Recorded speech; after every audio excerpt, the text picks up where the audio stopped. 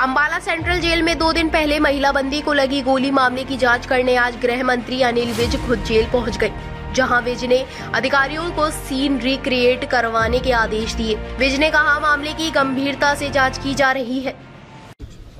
नहीं, वो जो महिला को अंदर गोली लगी है, उसको इन्वेस्टिगेट किया जा रहा है कि भाई कहाँ से लगी गोली ये? गोली कहाँ से आई? तो उसके लिए अब हमारी ब्लास्टिक एक्सपर्ट टीम भी आई हुई है। और मैंने इनको कहा कि सीन रिक्रिएट करके देखो कि किस दिशा से गोली आई।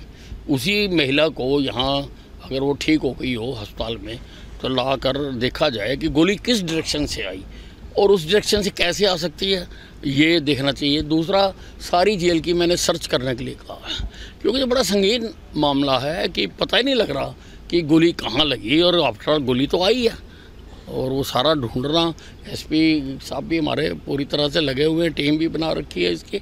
और इसको ये चैलेंज केस है पर इसको हमारी पुलिस सोल्व करेगी। अभी तक किसी नतीजे पे दिखाई देगी नहीं अभी नहीं अभी टाइम लगेगा। क्योंकि सर बताया जा रहा गोली भी काफ़ी बड़ी थी और अगर नज़दीक से होती तो नहीं वो सारे चीज़ें मैंने खुद देखी हैं।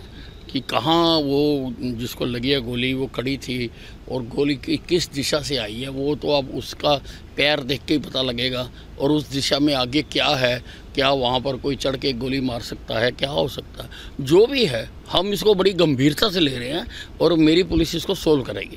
ट्रेनिंग नहीं कोई अंदाज़ा लगाना ठीक नहीं है और गोली जो है ना वो हमेशा सीधी आती है वो पैराबोलिक नहीं आती। देखो, अभी ये जो मैटर है, इसमें फॉरेंसिक की टीम भी आई है और प्रॉपर सर्चिंग तो हमने करवाई दी है और आज माननीय होम मिनिस्टर साहब ने भी आदेश दिए हैं, पूरी जेल जेल की तलाशी भी हम करवा रहे हैं। पुलिस भी बड़ा सहयोग कर रही है एसपी साहब भी आए हुए थे। और अभी जो एक्सपर्ट आए हुए हैं, उसके बाद एक्सपर्ट ही डिसाइड करेंगे कि किस रेंज से कितनी दूरी से वो आई थी। और किस वेपन्स की थी वो बुलेट उसके बाद ही डिसीज़न ले सकते हैं। एक्सीडेंट के बारे में अभी कुछ कहना जल्दबाजी है, क्योंकि सारी चीज़ें अभी क्लियर नहीं है। वो जो फीमेल है, जिनके चोट लगी है, वो भी एडमिट है। उसके बाद जो एक्सपर्ट हैं, उनसे फीमेल से भी पूछेंगे। बाकी मंत्री जी खुद फीमेल वार्ड में गए थे। जो महिलाएँ वहाँ धूप में बैठी थी, उनसे सबसे पूछताछ करी, पूछा उनसे। और पर्सनली उन्होंने देखा है। कहाँ बैठी थी, कहाँ खड़ी थी, सब कुछ देखा उन्हें सारी चीज़ें क्लियर हाँ सीसीटीवी कैमरा की सारी फुटेज एसपी साहब स्पेशल साइबर की टीम लगी हुई है सीआईए की टीमें लगी हुई हैं। और सारा देख रहे हैं। पूरी तह तक जाएँगे, पूरी जाँच कर रहे हैं। और माननीय होम मिनिस्टर साहब ने भी ये आदेश दिए हैं कि इसकी प्रॉपर जाँच होनी चाहिए, गहनता से जाँच होनी चाहिए। और इसका जो रियलिटी है, वो बाहर ज़रूरी है आना। और हम भी यही चाहते हैं, इसकी सच्चाई सामने आए।